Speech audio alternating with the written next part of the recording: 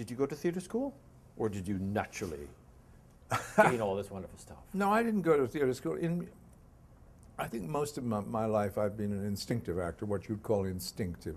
I had an ear for music, and I had an ear for language, and I had um, a, a sense of mimicry. I used to mimic people all the time. I've given that up because it's so dangerous. Your Peter O'Toole was quite good. No, I, no, I didn't even try. I mean, actually, I can't get up that high anymore. I mean, Peter is on the piano. I mean, you know, somewhere way up there. It's too high for me. I can't make it. And where did you learn your physical presence on stage? Because you have a physicality to what you do. Well, first of all, that, that's easy when you come from a family who were of, uh, of athletes. They were very athletic. My, my aunt was a terrific golfer in those days when women were not particularly uh, seen too often on the golf course. Um, my grandfather was rackets champion of Canada for five years running.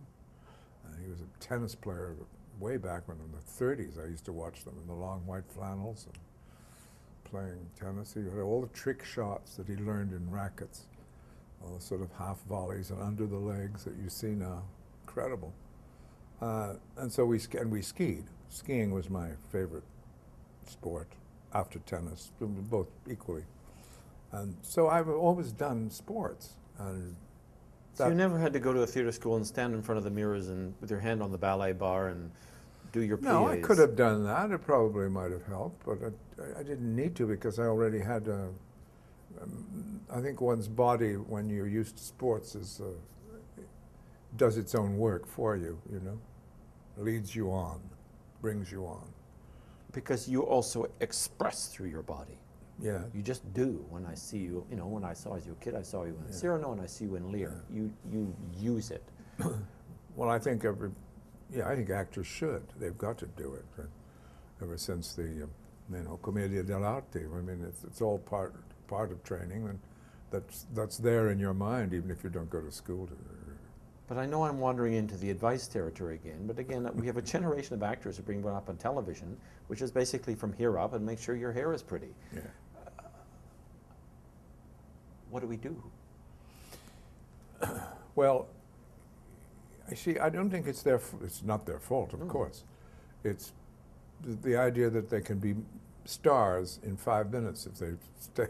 They if they hit it the, on the right day, their timing is right. They're in the right place, at the right time, they'll be a star for about five minutes, and then they'll fade away, unless they go and take it seriously and go into the theater and do things and do ambitious stuff and, and learn.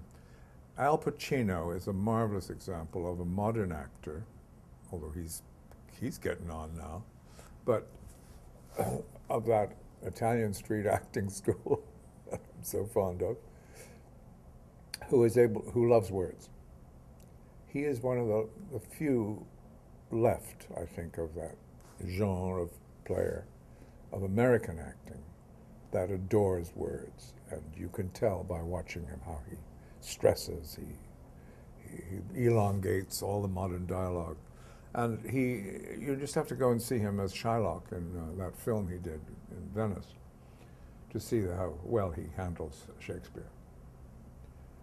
Uh, it's, it's just a wonderful performance. He, he knows exactly how to stretch all the lines to give them their proper weight and their space, and to give poetry its full value. He has all that as an instinct. He did Herod, you see, in, of Oscar Wilde's on the stage. I saw it in New York. I mean, what an what talk about a purple passage play, if ever there was one. Uh, Herod's language is more florid than my God, and yet he wanted to do it. the only act, living actor who would want to do it. And uh, he was rather marvelous in it. He made all those florid words, he gave them their full value, but he also gave it a wonderful kind of mafioso touch too that was very necessary for the character of Herod. He brought out all that part of Herod beautifully. Shakespeare. So I, my, my point is, if I may, that the young people who admire Al Pacino, who's still around giving terrific film performances, uh, have a lot to learn by watching him uh, because um, most of that is a love of words that he is bringing, no matter what part he plays, to you.